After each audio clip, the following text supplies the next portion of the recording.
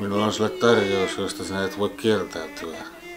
Nimittäin elokuvan ekspertit palaavat ensi pääsiäisenä ruutuun ja me käsittelemme kaikki kolme kummisetä elokuvaa. Odotettavissa on dirtyharrytyylistä syväluotaavaa analyysiä ja hyvää läpyskää, eli sinä tulet paikan päälle katsomaan tämän jutun. Si. Mie, mie, mie, mie.